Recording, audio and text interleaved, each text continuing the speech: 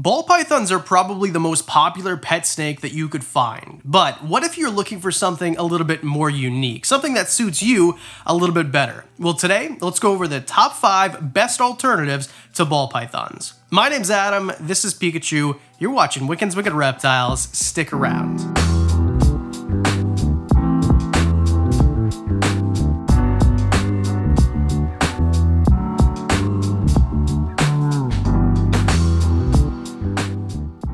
Now, don't get me wrong, I understand why ball pythons are so popular. They have every right to be. They're an amazing snake, and I love ball pythons.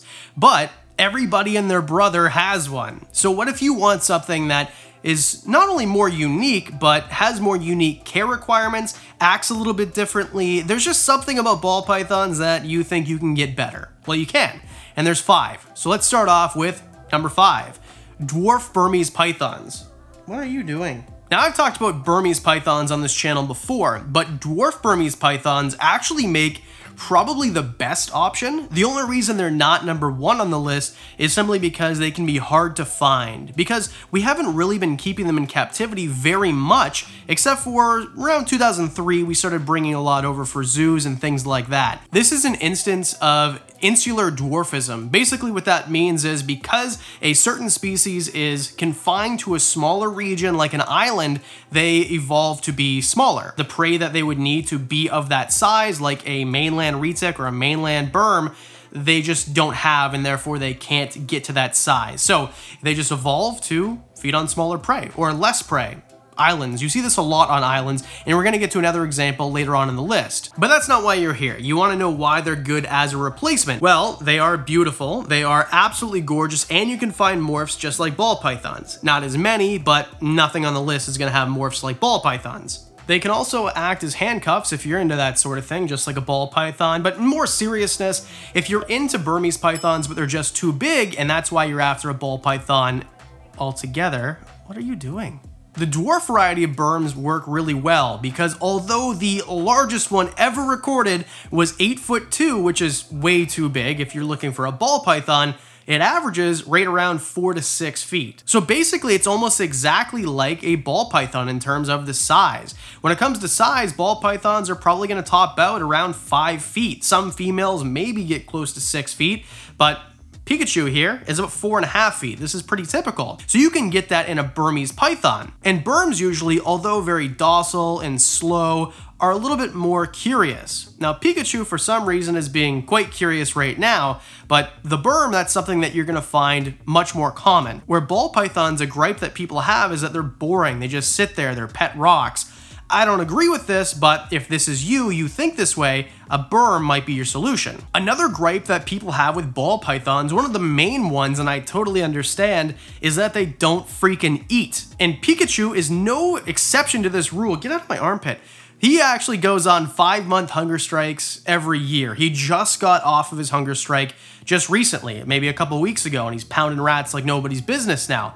But with Burms, this is rare. Burmese pythons are trash cans. They will eat basically everything that you throw at them. So you don't have to worry about that as much as with ball pythons. And Burms oftentimes don't have an issue getting onto frozen thawed like some ball pythons do.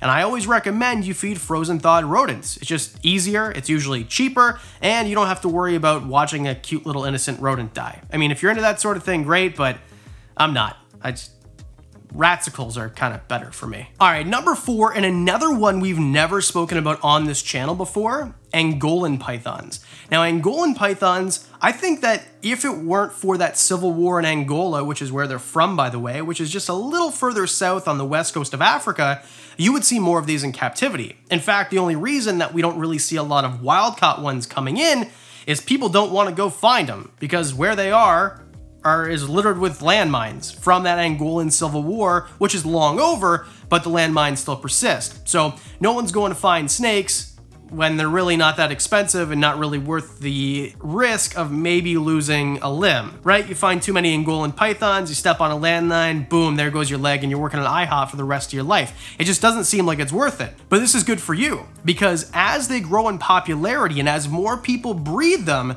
you're gonna find that just like ball pythons, almost everything that's available to you is captive bred. And for a myriad of reasons, which we've talked about in several other videos, you always want a captive bred one. You're not worried about parasites or dehydration from the trip, or it's just, all in all, it's better to have a captive bred animal. And with Angolan pythons, they're almost always captive bred, at least in North America here, and from what I understand, in the UK as well. Again, these could be number one easily. It's just that they're kind of expensive.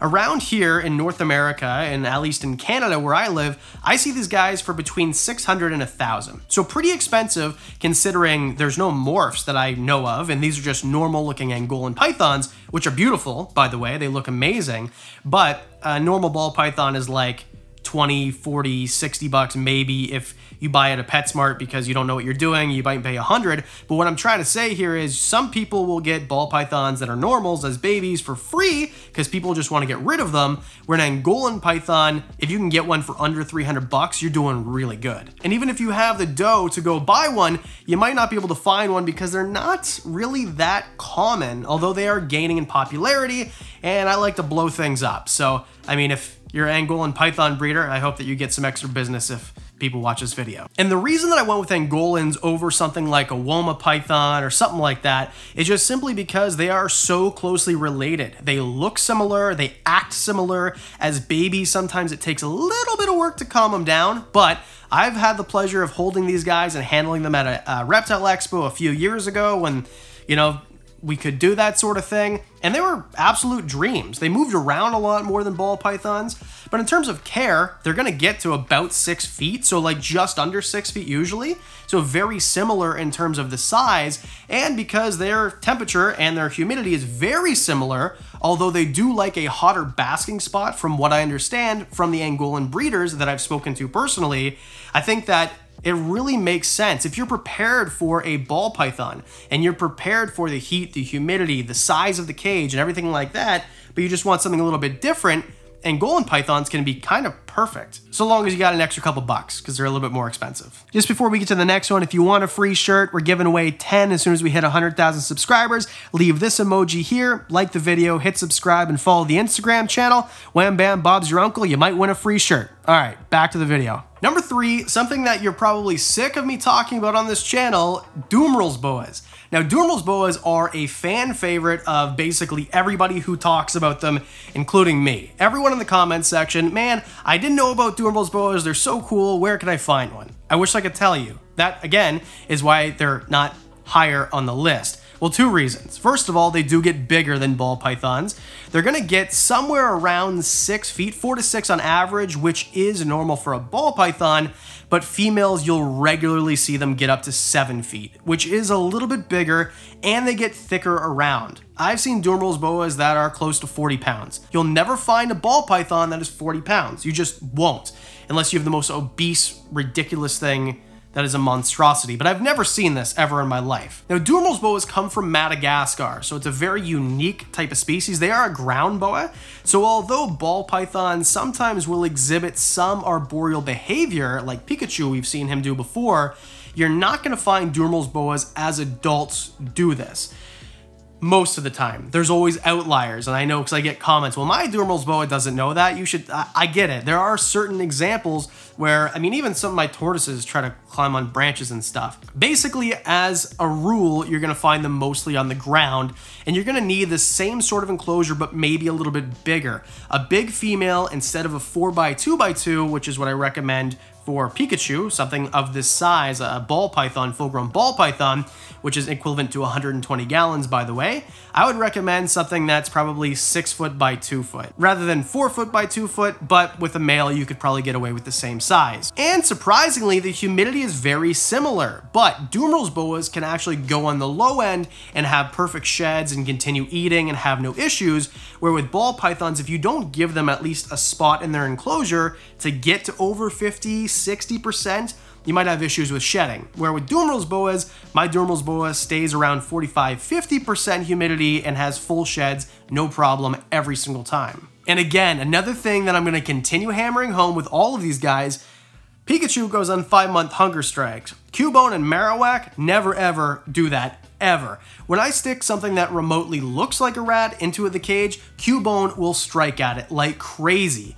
Now, once you get her out of the cage, she's a dream. No problems whatsoever, but it's something to be aware of that they do have a good feeding response. If you're interested in Dumeril's boas, hop on the train right now because I'm telling you, the price is only gonna go up.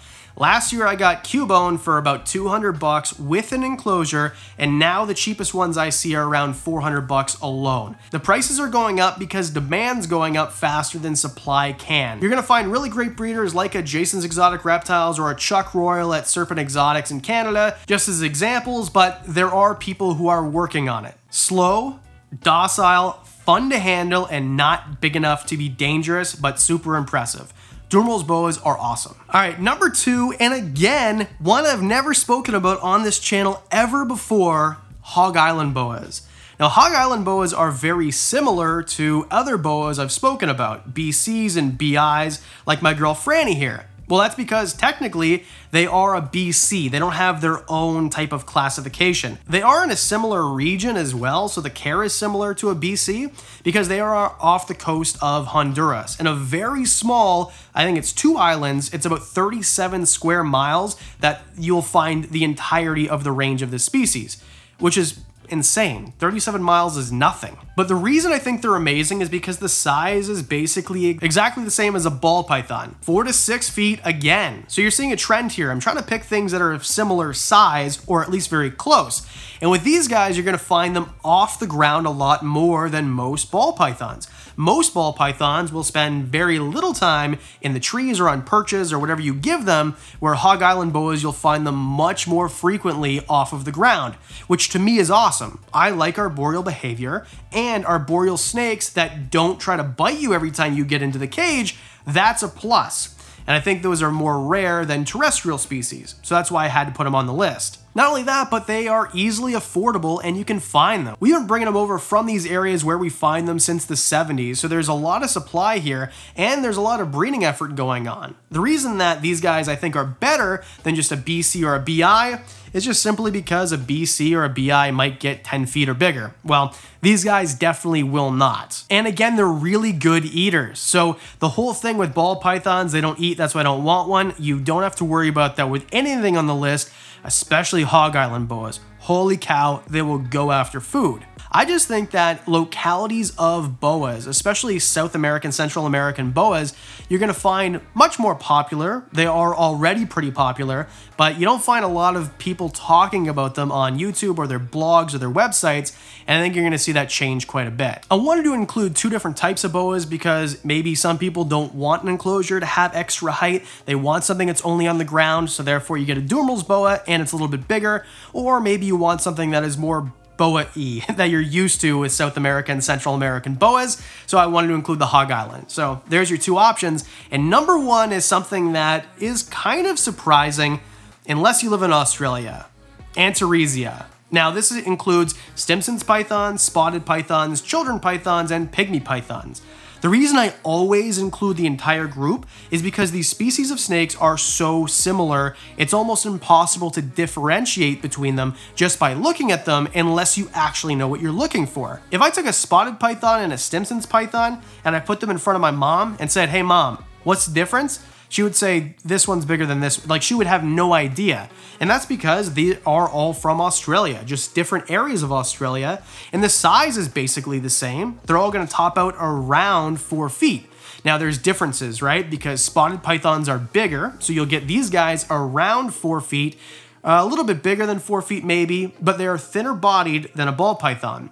If you want something even smaller, pygmy pythons, or anthill pythons they're called, are the smallest python in the entire world, and these guys are gonna top out closer to about three feet which is insane. That's a similar size to a rosy boa, and I didn't put rosy boas on here because they were too small. So if this is you and you want something that is even smaller than a ball python, but you want something that isn't fragile and you want something that's still a python, well, spotted pythons. In my opinion, those are the best. Although children's pythons are probably easier to find, and there are a few colorations and morphs that you can get your hands on where you can't really with pygmy pythons unless you live in Australia or you know something I don't know. A couple really good selling features. If you're a viewer in Australia and you've been thinking, dude, I can't have any of these things, you can have this one. You can actually have these in Australia, and I don't know of anywhere where they are illegal. Where with even dwarf berms, if you're in Florida, you can't have them. There's a bunch of places that you just can't have them at all, even though they're not harmful to people. Lawmakers will be lawmakers. But with a spotted python, you don't have to worry about that at all. So you can have them basically everywhere. They're semi-arboreal again, and they are very nice to handle. They're very fun to handle. You can tame them out as babies, and then usually they're pretty good as adults as well. And if you're thinking about ball pythons or an alternative, maybe you just want something that's great great to handle. Well, this is your option. And they pound food like nobody's business. Holy cow, my boy Jimmy here pounds food. Never had an issue at all. Plus, look how cute he is. He's so, so cute. Okay, so there you go. Those are your top five alternatives to ball pythons. Whatever your reason is that you want something that's like a ball python, but not a ball python, well, now you have five options, so look into them. Do your research before you get them, of course. And I want to say thank you so much to the Patreon supporters. You guys are freaking amazing. Just the best. If you want extra content, which I'm going to start pumping out a lot more of next month, there's going to be Patreon videos like you wouldn't believe. If you want extra discounts on the merch, if you want to see these videos early, know about reptiles in my collection that I don't talk about, for as little as $1 a month, you can be a Patreon too, or patron of Patreon, Patreon supporter. And for everyone who took the time to hit like, subscribe, and follow the Instagram channel, you guys are awesome, and you're gonna be part of the draw. So, I wanna say thanks, and because I do videos twice a week, that means that I'll see you on Thursday.